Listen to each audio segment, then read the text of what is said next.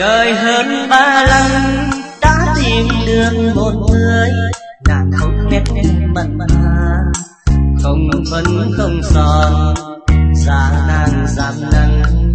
Vì làng quê nghèo ấy, bao năm tháng lo toan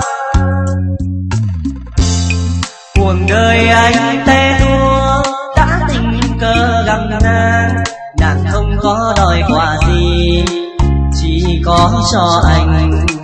Không ngoài ai khác, và để em chăm sóc, để anh bớt cơ hàn. Bao năm xây dựng ôi với cuộc đời nổi trôi đôi ta có gì nghèo mà tình mai thắm nghe. Mong sao sau này ta gắng làm việc đi nhé anh đây xin thề, anh sẽ về rước em đi. Và rồi suối hai năm, ta về cùng một nhà. Tình ta mãi đẹp mặn mà, không chỉ đôi ta, mà thêm một cơ số. Gia đình ta vui mãi, giờ đây có đông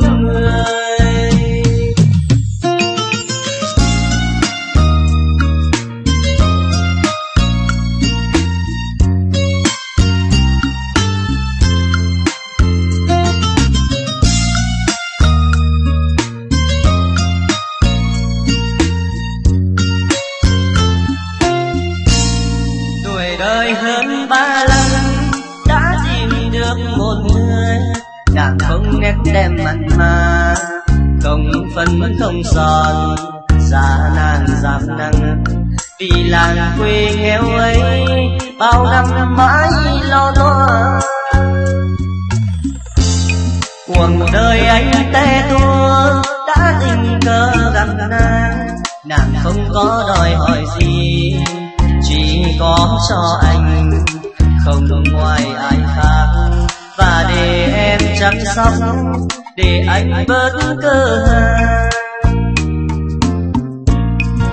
bao năm xây dựng ôi với cuộc đời nổi trôi đôi ta có gì nghèo mà tình mai thắm em mong sao sau này ta gắng làm việc yên nhé anh đây xin thề anh sẽ về